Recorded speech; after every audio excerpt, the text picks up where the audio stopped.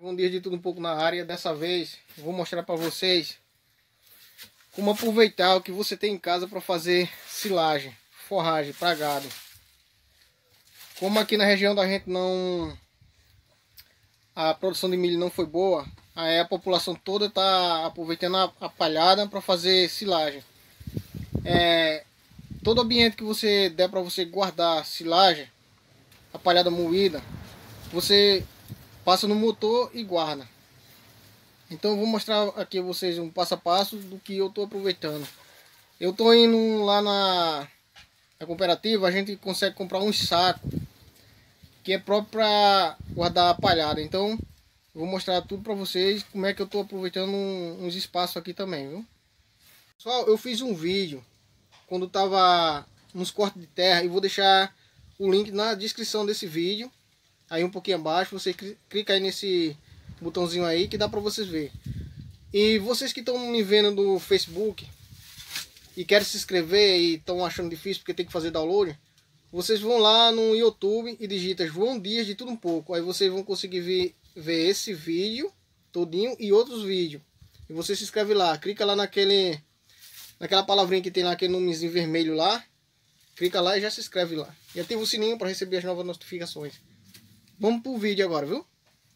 Galera, eu tô fazendo essa forragem num picador triturador forrageira TRF400. É um excelente motor.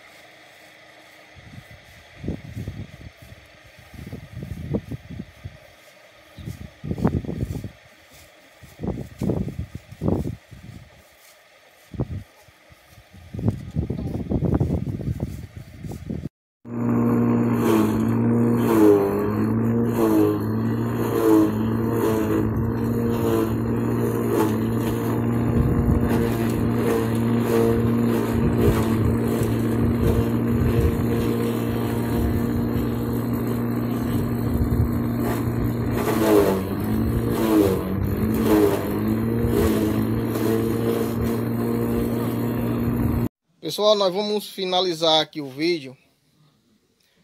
Eu estou mostrando para vocês aqui esse saco aqui que a gente comprou na, nas casas de ração, nas lojas que vendem produtos agropecuários. A gente compra eles, aí a gente armazena também aqui, a silagem aqui nele aí, ó. Aí passa vários vários dias, vários meses aí não estraga. Ele consegue assim a umidade do, do, da forragem não sai, fica lá. Todo o tempo que você abrir vai estar do mesmo jeito. E aqui você não pode deixar ar quando você for amarrar aqui. Você encarga aqui o açaí e você vai amar. É isso aí, pessoal. O vídeo é isso aí. Espero que vocês tenham gostado. Quem gostou, deixa o joinha. E se inscreve no canal lá. Ativa o sininho para receber as novas notificações. E até o próximo vídeo. Se assim Deus permitir.